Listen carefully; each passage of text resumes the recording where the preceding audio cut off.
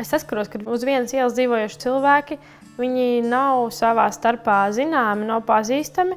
Un pēc kāda no projektiem viņi ir sapratuši, ka dā, tas bija tieši tas, ko mēs meklējām. Tepat aiz stūra uz mūsu ielas. Ir ļoti forši strādāt ar cilvēkiem. Jāsaka, laikam, kāds tu pats esi, tādus cilvēkus tas attiecas. Tā ir tev aiz muguras vai tev priekšā nostājas tie cilvēki, kuri vai nu tevi ved, vai nu tu viņus ved. Tas ir tas skaistākais, tie cilvēki. Tu nevari nekur krist, jo visapkārt ir cilvēki. Laikam galvenais ir pastīties uz lietām, tās, kuras tev ir, nevis nav. Pateikt, bija forši vakar un būs forši rīt. Būt pozitīviem, maidīt, runāt, komunicēt, pašiem iedvesmoties un negaidīt, kad kāds kaut ko darīs viņu vietā tā nenotiek. Vislabākais būtu pastīties sev blakus, atbalstīt viens otru, neteikt, ka mēs esam mazi, teikt, ka mēs esam lieli un vareni. Jā, mēs esam lieli un vareni. Es novēlu katram droši vien atrast tādu vietu un tādu brīdi, kad tu nejūties nelaimīgs, bet jūties laimīgs, piefiksēt to un turpināt darīt tādas lietas.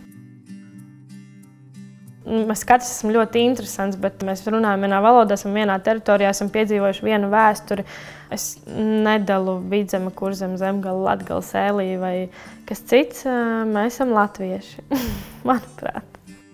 Aizbraucam ar draugiem atpūsties uz jūru. Tur ir viena latviešu kompānija, otra latviešu kompānija. Mēs baudām to jūru, mēs baudām to dabu. Un mēs varam, jā, visiem patīk šeit.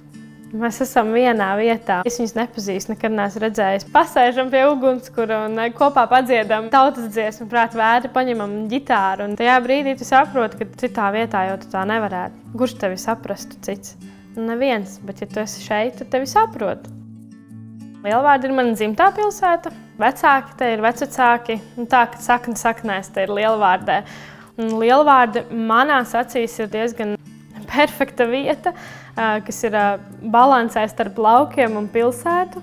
Man prieks, ka lielvārdieši nebaidās paust viedokli. Vai tas ir labs vai slikts, tas jau ir no katra paša atkarīgs, bet uh, nekad nav baidījušies. Tāpēc, ka mēs jūtamies droši te. Un uh, tāpat arī man tāda droša vieta.